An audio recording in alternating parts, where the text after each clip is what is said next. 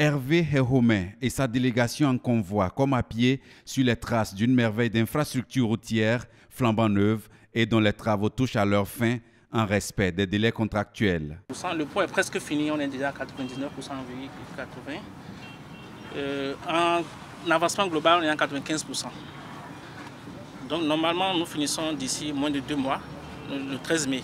La fructueuse coopération entre le Bénin et le Brésil est matérialisée ici par ce précieux héritage infrastructurel qui relie parfaitement le département du plateau à celui des collines. Les travaux d'aménagement et de bitumage de la route Ketou, Idigny, Iboja, Savet, longue de 85 km, sont minutieusement scrutés, tout comme ceux des bretelles Omu, Iladji, Moussukagbe, Ayekotonia, longue de 26 km, et Savet, Okeowo, 27 km.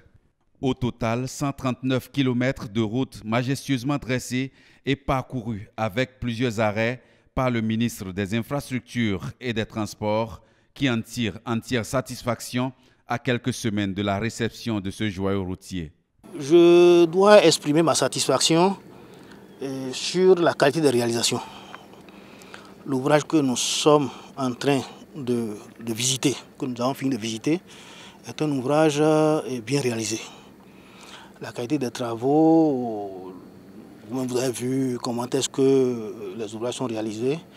Et je voudrais féliciter la mission de contrôle et l'entreprise pour cette qualité de réalisation.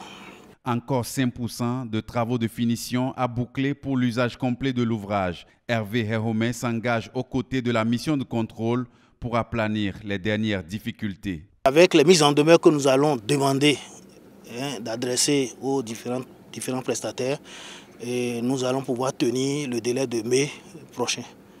ce qui serait vraiment euh, satisfaisant et puis à l'actif tant de l'entreprise, de la mission de contrôle que de nous-mêmes, que de nos équipes du ministère des Infrastructures et des Transports. Sacrée solidarité qui promet que le 13 mai sera la bonne date comme prévu.